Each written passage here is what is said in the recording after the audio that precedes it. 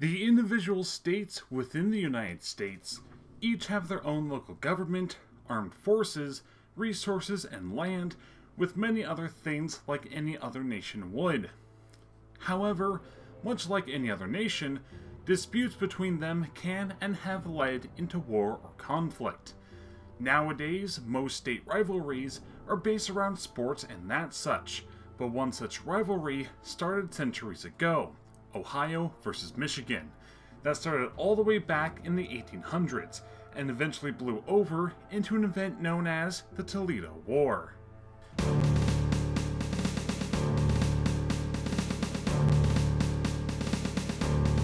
The Toledo War happened in 1835 between Ohio, a state, and Michigan, a territory at the time, over a strip of land that included the town of Toledo, a major port city along the Great Lakes.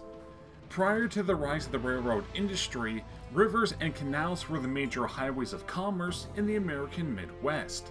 Toledo fell within the Great Black Swamp, and this area was nearly impossible to navigate by road, especially after spring and summer rains. At the time, there were plans to connect the Mississippi River and the Great Lakes through a series of canals connecting through Toledo, but it never panned out. Federal surveyors never really concluded who owned the strip, as the boundaries for the land was stated at the southern end of Lake Michigan, which, at the time, was several miles south of its actual location. This left a dispute between Ohio and the territory of Michigan over the few miles of land. When Michigan gained enough population to seek statehood, it was rejected due to the Toledo dispute. With Ohio actively working against having Michigan become a state, it set up its own county government within the Strip, which only further exacerbated the problem. The governor in Michigan at the time, Stevens T. Mason, largely ignored the protests from DC and set in motion a series of changes that would be of becoming a state, such as its constitution, Supreme Court, and a state legislator. He also passed the Pains and Penalty Act, which the act made it a criminal offense for Ohioans to carry out any governmental action like voting in the strip, with a fine of up to $1,000 and up to five years of imprisonment. He also raised the state militia and sent them into Toledo. Under the command of Brigadier General Joseph W. Brown, he effectively started the so called war. Brown occupied the town with around a thousand men, while the governor of Ohio, Robert Lucas, raised 600 of the state militia and sent them 10 miles to the south of Toledo. President Andrew Jackson sided with Ohio at the time, largely due to the political power that the state had in presidential elections. His attorney general stated that Michigan owned the land unless Congress stated otherwise, and in response, Jackson sent two representatives from DC to the disputed land.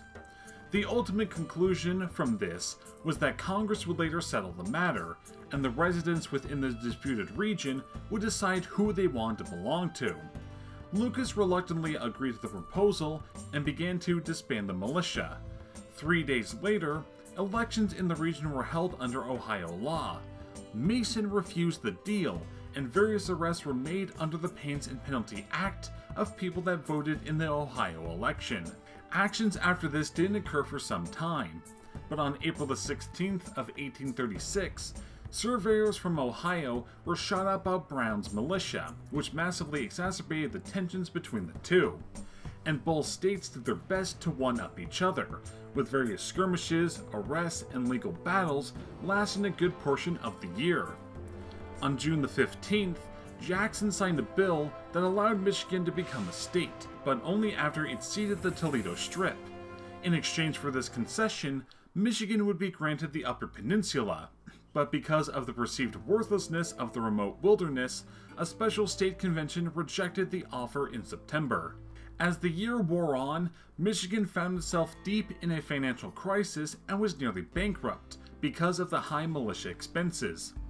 The government was spurred to action by the realization that a $400,000 surplus in the United States Treasury was about to be distributed to the 25 states, but not to territorial governments. Michigan would have been ineligible to receive a share of the money. With that in mind, Michigan reluctantly accepted the original offer, giving up around a thousand miles with Toledo and its rich agricultural land, in return for over 9,000 miles of rich forestry and ore mining land just not yet known to anyone. I hope